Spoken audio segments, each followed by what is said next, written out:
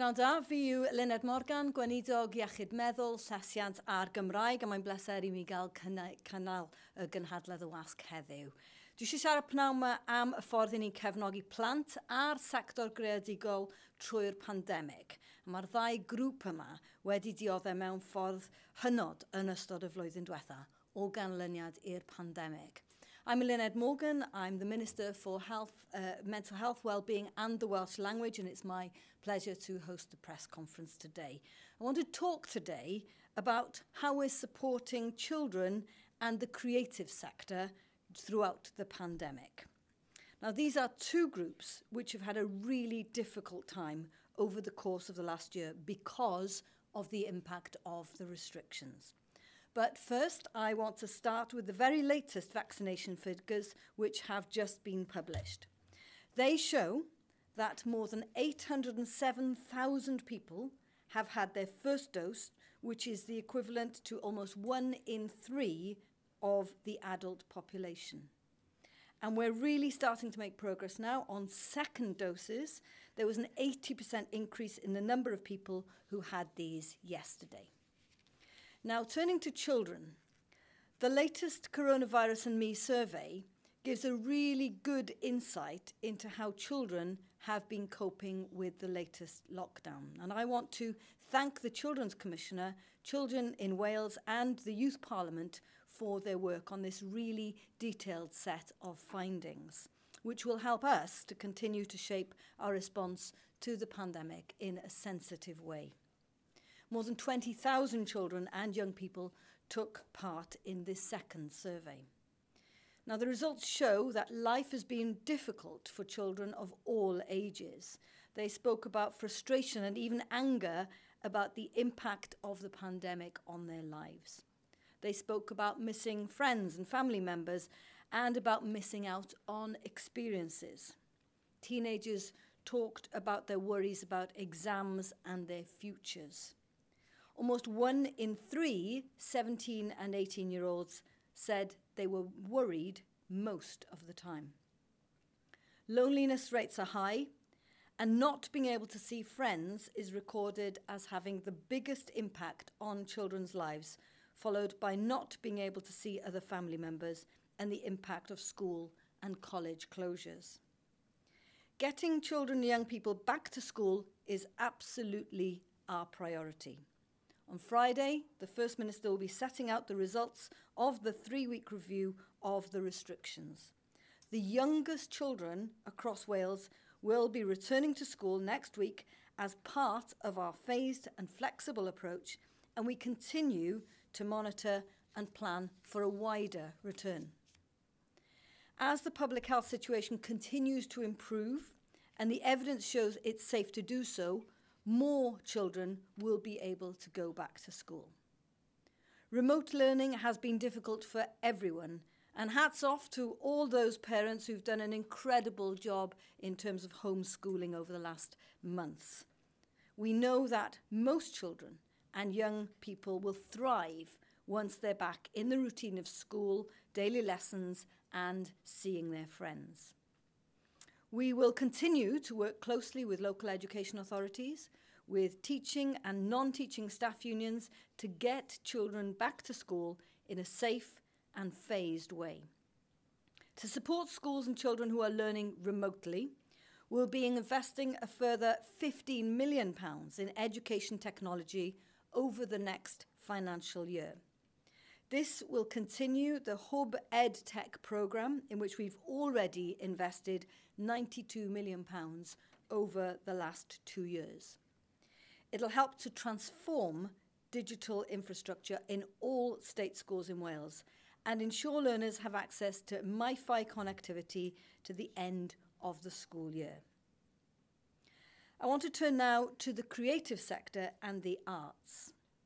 Wales is known throughout the world for our arts and our culture. Promoting our talents in this sector is one of the key parts of our international strategy. But the last year has been one of the toughest on record for our creative sector. Because of the virus, there have been few outlets for our nation's immense talent and creativity. there have been barely any live performances for almost a year, and most creative output has moved online. We all hope that better days are ahead of us and that we'll soon see live music, performance, theatre, and art return to our lives. Over the course of the year, we've provided a range of financial support for the creative sector to help it through the pandemic. We've made £63 million available through the Cultural Recovery Fund, which includes almost £20 million for the Freelancer Fund, which is unique to Wales. I wanted to share a couple of examples with you today about how this funding is supporting individuals and organisations as diverse as Nant Gwrtheyrn Trust, uh, which is receiving funding from the Cultural Recovery Fund, and a beatboxer from Blaenau Gwent. Hugh Jones, who is the chair of Nant Gwrtheyrn Trust, has said that this funding will help sustain its workforce and improve what it can offer to help people learn Welsh when it's able to reopen again. I ni yn edrych ymlaen at weld Nant ar agor unwaith eto. Our Freelancer Fund is providing grants to 3,500 freelancers working throughout Wales. Beatboxer Dean Yhnell is one of them. He holds songwriting sessions for young people. He calls them counselling sessions in disguise. It's also helped make filmmaker and writer Lewis Carter. It's allowed him to complete production on his latest documentary, Best Foot Forward, about the famous Nos Galan road races in Mountain Ash, which was released on New Year's Eve.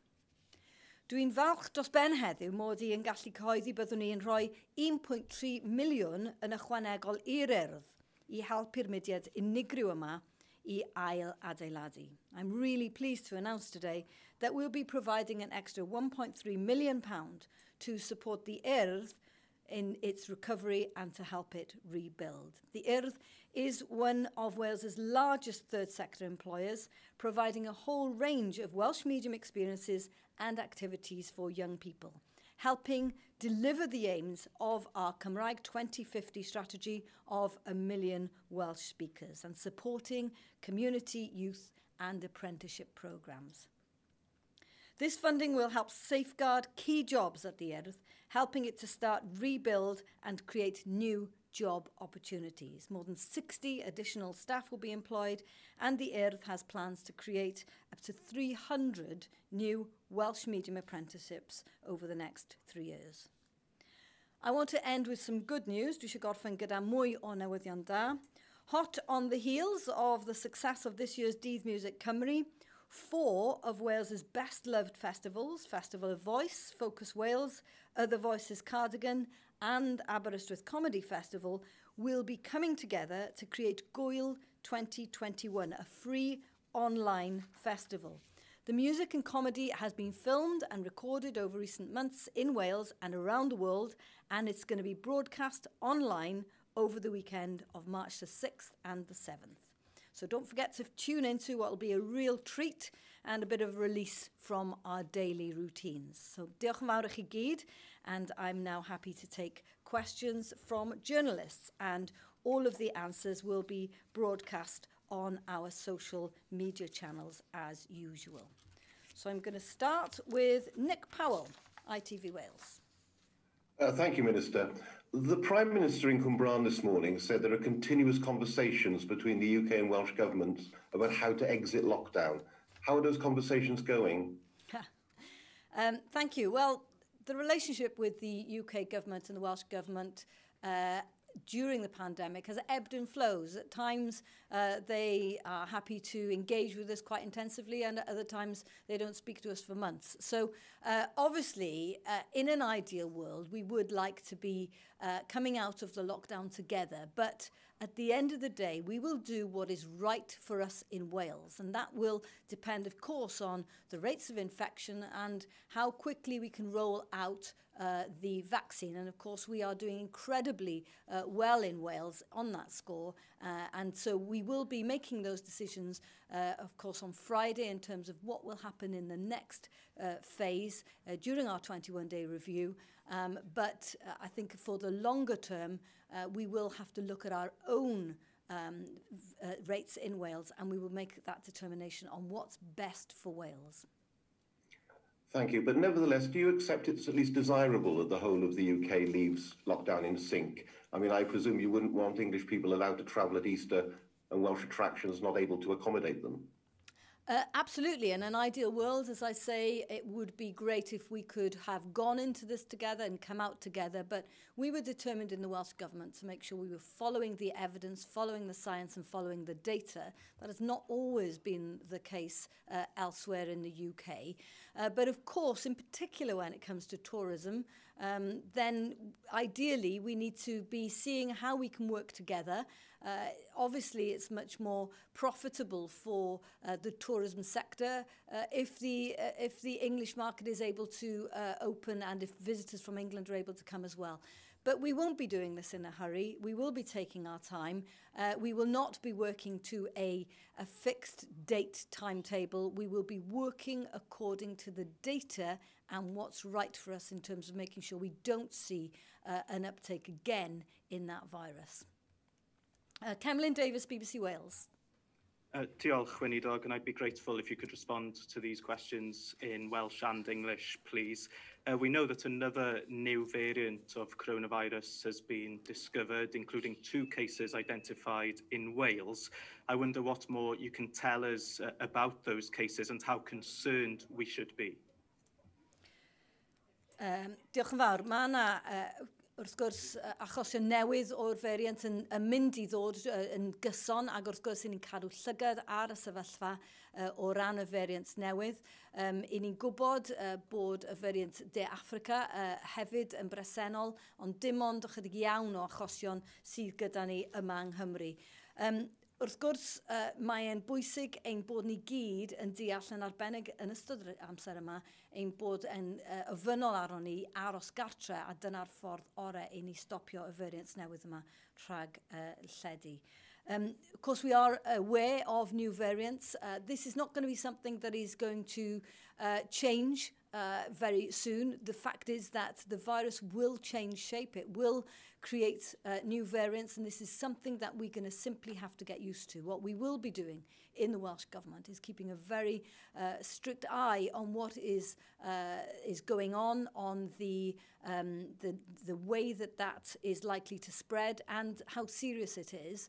Um, of course, we are aware the South African variant is also present uh, in Wales. We have uh, several cases, most of which we can trace directly to South Africa, but we are concerned about um, three cases where we cannot um, really follow where that's come from. So we're doing a lot of research into that at the moment.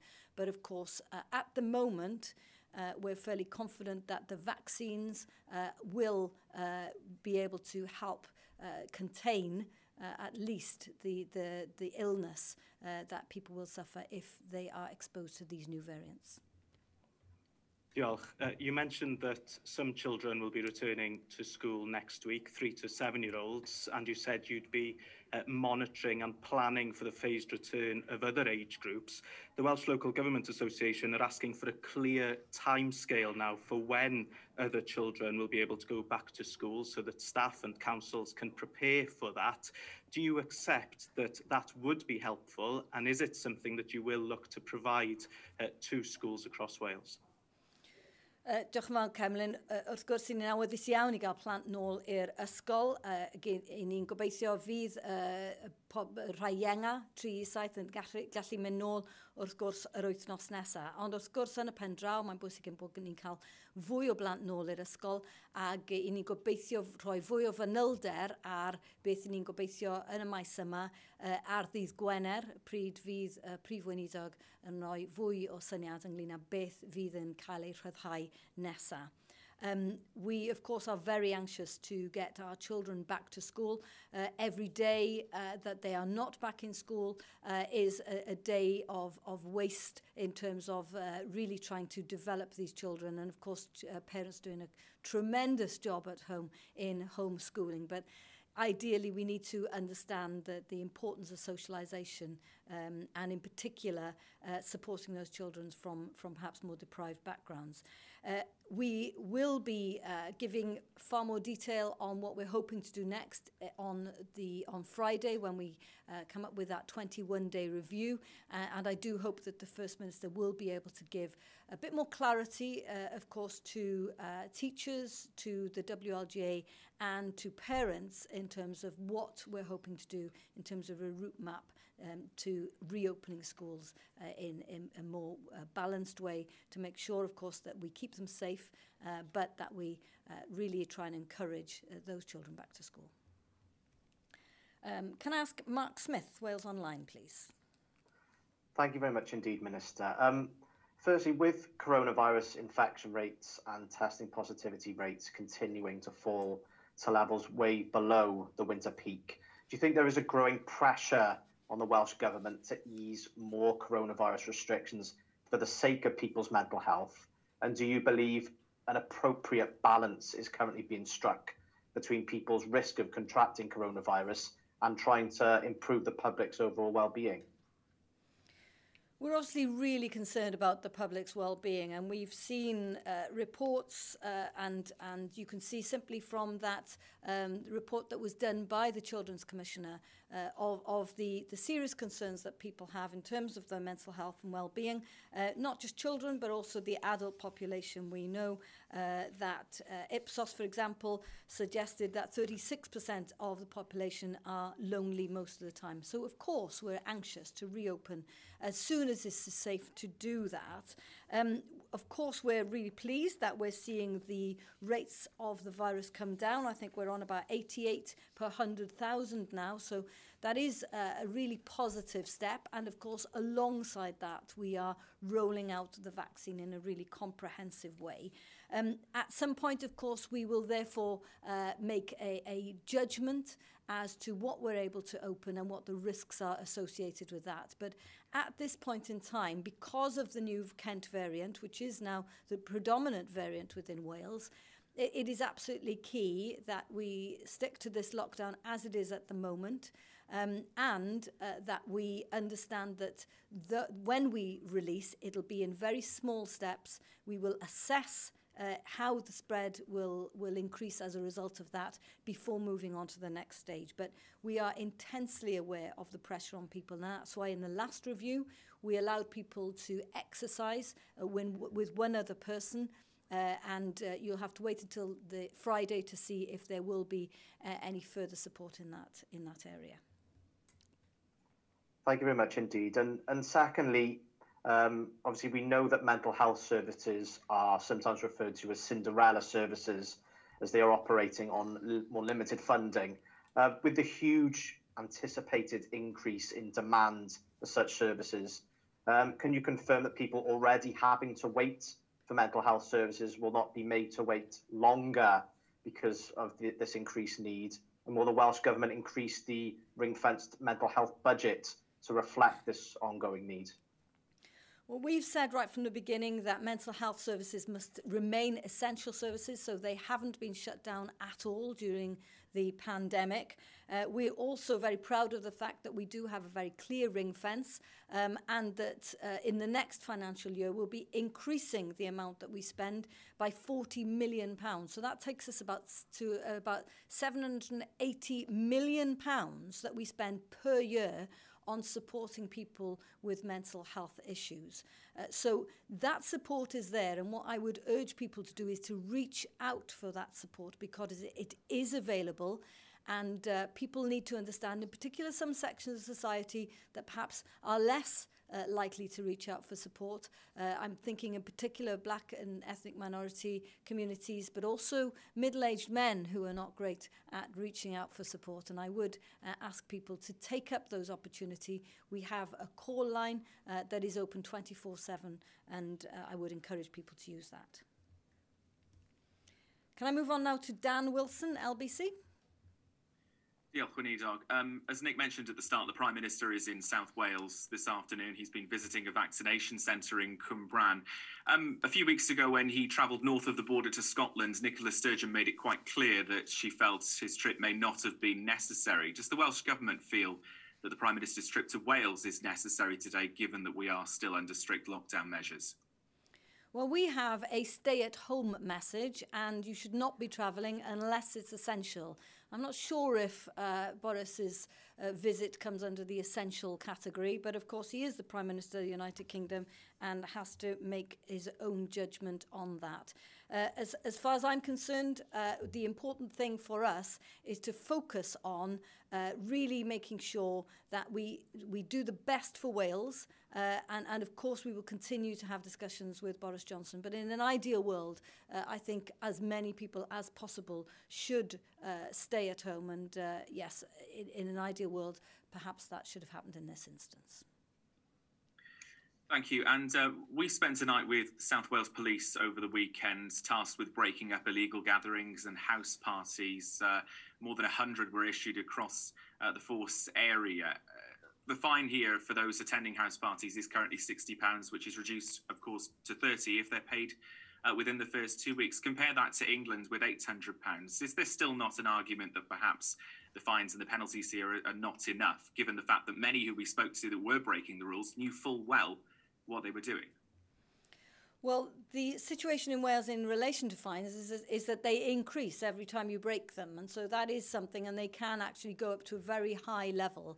Uh, but of course, uh, what is good is that the police are now breaking up those, uh, those parties. Uh, and I would encourage them to continue to do that. But in an ideal world, people should not be gathering. You know, hopefully we haven't got a long time left now to, to really live through the rest of these, these dark days that we're living through. Uh, it's because we're hoping to see a release uh, in the, the near future. But now is not the time to, to, to relax. Now is the time to make sure that we can really dampen down on this uh, vax, va variant uh, and the and the um, the pandemic. And let's make sure that people really try and adhere to those rules. And of course, uh, we keep all of those issues under review. Can I move now to Ellis Roberts, Newyddion?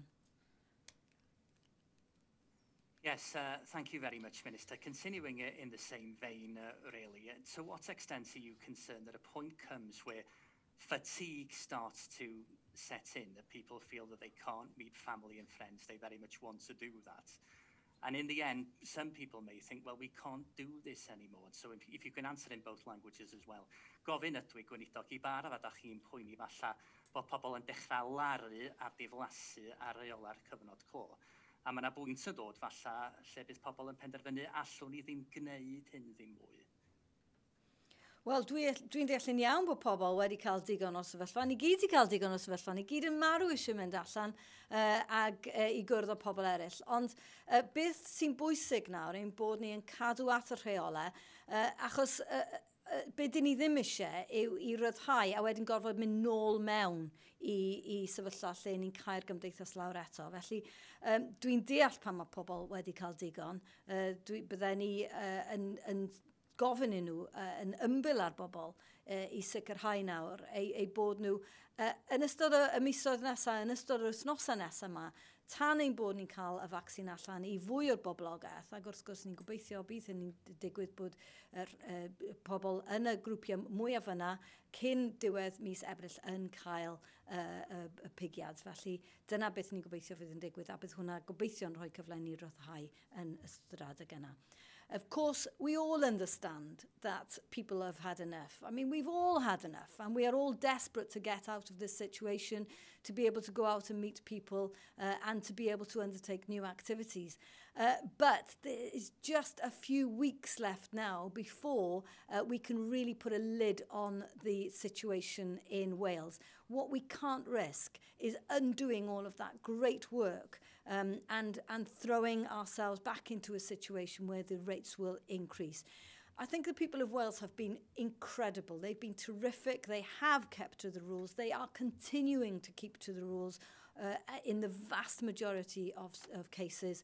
And I would plead with you, please, just for the next few weeks, uh, to stay with us, to respect those rules and let's see if we can get out of this dreadful situation.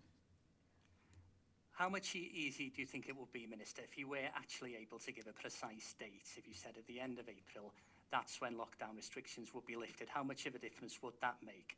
Faint yn haws fyddai, hi, chi yn gallu rhoi dyddiad pendant rwan, a bydd pobl yn gwybod y bydd y cyfan yn dod i ben bryd hynny? Wel, ni wedi dysgu yn ystod y pandemig yma bod hi'n risg i roi dyddiad ar bethau, achos mae'r feirws yma yn feirws di, ni ddim, mae'n firws newydd.